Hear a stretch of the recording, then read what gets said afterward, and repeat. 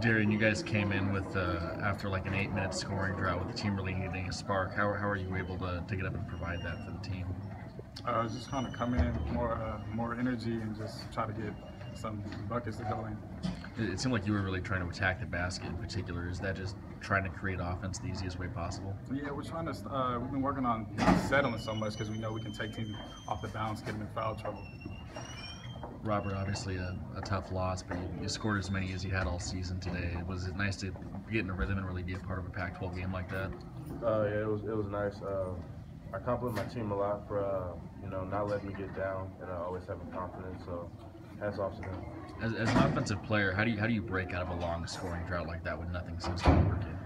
Uh, I fall back to my teammates. I mean, uh, I'm just running. I'm running hard. Uh, they're feeding me, and uh, they're just they're, they're giving me the looks.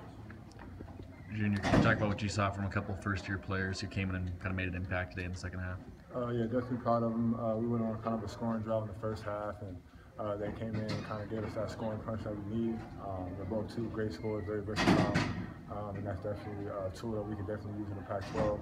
Um, like I said, they had great games, and especially for Robo, a freshman coming on the road, that's big to come to, you know, in an opponent's environment, uh, give us the punch that we needed in, in a crucial time. So I commend him on that. And, uh, hopefully, we'll be seeing that more often uh, as we go through the Pac-12. Is, is there a reason you can think of for that scoring drought and why it took so long to break out of it?